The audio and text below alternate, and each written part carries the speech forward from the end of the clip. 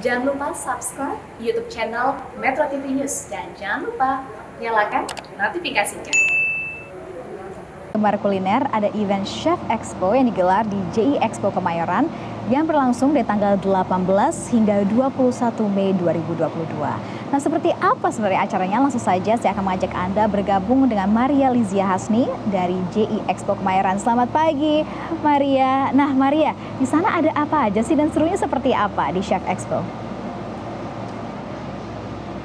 Oke, selamat pagi Sarah dan juga pemirsa. Ada banyak sekali sebenarnya acara menarik dan juga stand-stand yang menarik di sini. Uh, lengkap semuanya. Nanti saya akan ceritakan karena juga sebentar lagi ada kompetisi demo memasak yang berlangsung di sini. Nah, sebenarnya Chef Expo 2022 ini adalah event ketiga secara offline yang diadakan setelah kemarin selama pandemi COVID-19 ini dua tahun harus vakum. Nanti apa saja sih yang menarik, kemudian tujuannya apa? Saya akan kembali untuk Anda pemirsa selepas jeda Headline News pukul 10 waktu Indonesia Barat. Jangan ke mana-mana, tetaplah bersama kami di Selamat Pagi Indonesia lagi pemirsa di Selamat Pagi Indonesia dan masih dari gelaran Chef Expo 2022 di J Expo Kemayoran. Jadi memang acara ini uh, sempat tertunda selama dua tahun lamanya akibat pandemi COVID-19 dan akhirnya tahun ini uh, kembali lagi diselenggarakan. Dan sebenarnya acara ini berlangsung sejak kemarin pemirsa 18 Mei uh, dan akan berlangsung selama empat hari ke depan sampai 21 Mei 2022. Jadi sebenarnya kalau kita lihat nih ya, uh, acara ini merupakan acara event uh, juru masak terbesar di Indonesia sekaligus merupakan event kuliner pertama terbesar di tahun ini begitu. Acara ini memang sangat menarik karena digelar langsung oleh uh, Indonesian Chef Association atau Asosiasi Chef Indonesia uh, dan sebenarnya acara ini diadakan sejak tahun 2018. Jadi tahun ini merupakan tahun ketiga acara ini diselenggarakan secara offline. Nah, sebenarnya tujuan dari acara ini adalah untuk menunjukkan bahwa uh, peranan penting begitu dalam chef ini untuk menggaungkan keanekaragaman pangan yang ada di Indonesia karena kalau kita lihat dari hasil karya olahan pangan di tangan chef tercipta berbagai keanekaragaman pangan. Nah, ada beberapa acara menarik pemirsa yang akan saya gambarkan. Misalnya di depan saya ini nanti akan ada kompetisi chef daerah begitu. Jadi setiap harinya ada kompetisi chef dari berbagai daerah untuk menonjolkan uh, industri pangan dari masing-masing daerahnya. Sebentar lagi akan dimulai, nanti saya akan ajak Anda ke sana. Dan di belakang saya misalnya, ini nanti ada kompetisi chef uh, junior versus chef profesional yang akan berlangsung sekitar pukul 11. Banyak sekali juga acara yang menarik seperti misalnya kemarin acara ini dibuka juga oleh Chef Kung Fu Indonesia. Uh, kalau pada tahu atau ada Chef Muto, kemudian juga ada sejumlah selebriti chef yang hadir, misalnya uh, Chef Juna, Chef Chandra Yudaswara, Chef Asiang, dan juga Maestro Tata Boga yang sudah tidak asing namanya Ibu Siska Suitomo juga turut mendukung acara ini. Nah, selain ada dua acara yang menarik ini, masih banyak juga acara-acara menarik yang akan berlangsung selama empat hari ke depan seperti ada talk show plating teknik, kemudian ada talk show hygiene, kemudian pameran buku kuliner, cooking demo Celebrity Chef Indonesia, dan masih banyak lagi. Dan yang paling menarik nanti pemirsa, ada program Black Competition Challenge yang akan mempertandingkan para chef profesional terbaik dari hotel bintang 5 dan restoran ternama di Indonesia. Luar biasa komplit acaranya ya. Oke, kita coba akan jalan-jalan sedikit uh, ke beberapa stand yang ada di sini karena di sini memang standnya itu juga menonjolkan produk UMKM uh, eh, kuliner Indonesia begitu. Misalnya kalau kita lihat itu lengkap ya, itu ada dari mulai piring, kemudian ada juga produk-produk UMKM-nya untuk menambah cita rasa makanan. Juga ada kalau tadi di belakang saya juga tadi sempat mengambil gambarnya, mungkin bisa ditunjukkan. Itu ada uh, alat-alat masak dari mulai untuk industri besar sampai industri rumahan. Ada juga uh, pameran alat masak yang beraneka ragam seperti panci-panci ini komplit sekali di sini kemudian aneka ragam pisau jadi buat ibu-ibu yang ingin mencari inspirasi resep makanan tambahan menu kuliner dari berbagai daerah sambil juga menambah peralatan masaknya ini bisa langsung ke sini karena masih berlangsung sampai 21 Mei 2022. Nah, saya coba mau sedikit bincang-bincang sama beberapa uh, eh, UMKM yang ada di sini. Selamat siang, halo, selamat pagi kali ya. Selamat pagi, halo. Ya, halo. Ini tadi masak apa nih? Saya udah ngelihat tadi kayaknya baunya harum banget. Bikin acar dari kokita, kita pakai cuka lemon ya dari kokita. Okay. Ya, sama kita tadi bikin eh, bola-bola daging bumbu kuning. Wah, pantas baunya wangi banget ya. Ini uh, bagaimana pendapatnya mengenai event Chef Expo 2022 ini? Pendapatnya uh, sekarang gimana ya? Sangat senang sekali kali ya sebelah setelah kita ya. akhirnya setelah tiga tahun ya kita nggak bisa keluar seperti ini ya. Akhirnya ya senang sekali sih bisa bisa ber ber ini apa kumpul kembali. Apa yang uh, uh, yang membuat pengen ikut join Chef Expo 2022 kali ini? Uh, yang ikut join emang kita sih bagian dari sponsor ya karena kok kita kan uh, menyatu dengan chef-chef uh, apa senasional ya dari EICA atau chef, mungkin harapannya gitu. Oh, harapannya ya biar lebih maju aja kali ya berkembang ya. ya. Kemarin kan selama dua tahun mungkin kalau kita tahu industri pariwisata terperosok salah satunya juga industri kuliner ya. Semoga dengan adanya event ini kembali bangkit lagi. Makasih banyak ya Mas ya. Semoga sukses. Nah, oke. Okay. Uh, kita coba lagi keliling ke beberapa uh, stand yang ada di sini sebelum nanti kita akan mengajak Anda pemirsa untuk ke tempat demo masak ini sepertinya lagi siap-siap begitu ya. Ini lucu banget ya kalau tadi saya lihat dari jauh uh, produk UMKM-nya. Ini uh, aneka ragam piring begitu dari kayu dan aneka ragam keramik juga. Mungkin saya boleh ngobrol-ngobrol sedikit. Selamat pagi, halo, boleh nanya-nanya? Wah, ini cocok untuk pasangan-pasangan muda. Nah, ini cocok sekali alat alat-alat makannya di sini. Oke. Oke, kita jalan lagi aja deh, pemirsa kalau gitu. Ini lengkap ya, sampai kompor gas juga ada dan lain sebagainya. Di belakang sana sebenarnya juga masih ramai, tapi itu lebih banyak uh, ke alat-alat atau untuk industri rumahan dan juga sampai industri besar uh, di bidang kuliner begitu. Nah kita akan coba lihat ini sudah mau mulai sepertinya untuk demo memasaknya. Oke, halo. Ini saya juga ada Chef Handri yang biasanya masak-masak juga di Selamat Pagi Indonesia. Halo, apa kabar Chef Handri? Akhirnya ketemu lagi. Maria, iya. Selamat pagi. Selamat datang di Chef Expo Indonesian Chef Asosiasi. Ya, senang uh, acara ini bisa digelar lagi. Nah, dan Chef Handri ini juga merupakan Director of Competition ya, jadi yang ngurusin segala kompetisi yang ada di sini. Ya. Chef ini ngomong-ngomong udah bisa mulai atau ya, ini bagaimana? Sedang persiapan. Jadi uh, kalau ini Chef Expo itu karena Indonesian Chef Asosiasi uh, banyak diperwakili di daerah. Kali ini kita menghadirkan perwakilan kita dari Sumatera Utara, Chef Hasan Basri. Jadi uh, beliau akan uh, mendemokan makanan khas Sumatera Utara ikan arsik. Boleh ngobrol-ngobrol dulu kali ya, ya sama Chef Hasan di sini. Halo Chef Hasan, nggak apa-apa kita dari sini aja. Apa kabar Chef dari Sumatera Utara ya ini? Ya, kita saya dari Sumatera Utara, uh, Ica BPD Sumut. Udah siap-siap uh, aneka rempah-rempah Indonesia udah lengkap. Ini kira-kira nanti mau masak apa Chef? Ini kita makan masak uh, masakan Sumatera Utara yaitu uh, ikan mas ikan mas arsik Kan Mas asik. Wah, kayaknya saya juga asik nih nanti kalau bisa ngecicipin ya. Oke, okay, Chef uh, boleh dilanjut sambil saya juga keliling sambil nanti kita akan explore demo masak ini. Uh, kita akan tunggu semoga udah bisa langsung dimulai jadi supaya nanti pemirsa juga tahu oh ini ada menu resep masakan yang yeah. baru. Ini saya baru dengar nih dari Sumatera Utara. Yeah. Uh, ikan mas asik gitu ya. Arsik. Arsik, Arsik dan mie gomak hari ini kan. Oh oke okay, oke okay, oke. Okay. Nah chef sambil kita nunggu ini kalau ngobrol-ngobrol uh, sebenarnya uh, apa sih tujuan dianggap diselenggarakan acara Chef Expo 2022 ini?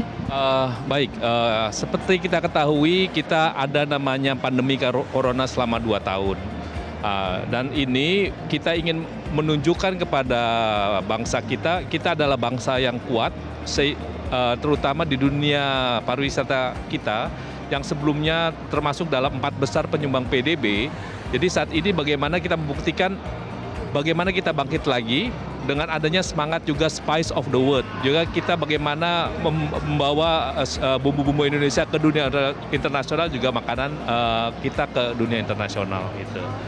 Nah, sejauh ini kemarin kan selama dua tahun memang sempat terkendala ya event ini begitu dan akhirnya kali ini diselenggarakan lagi. Apa yang berbeda mungkin dari tahun-tahun sebelumnya? Uh, yang paling berbeda misalnya seperti ini, kalau sebelumnya uh, uh, kita hanya lebih cenderung melibatkan sep-sep yang ada di uh, Jabodetabek, dan kali ini kita uh, sudah uh, juga mengundang sep-sep yang ada di seluruh Indonesia ya. Seperti kita nanti ada perwakilan dari Sumatera Utara, nanti juga ada perwakilan dari Papua. Jadi kita gantian chef-chef daerah kita juga munculkan. Tujuan utamanya adalah bagaimana makanan eh, daerah bisa juga kita bawa ke tingkat nasional. Sangat menarik ya sampai dari Papua. Ada chef sambil nunggu, nanti kita ke sini lagi. Mungkin saya boleh ditunjukin nggak sih beberapa stand yang menarik begitu yang kalau pengunjung itu datang ke sini, pokoknya harus deh ngelihat stand ini gitu. Di sini Aha.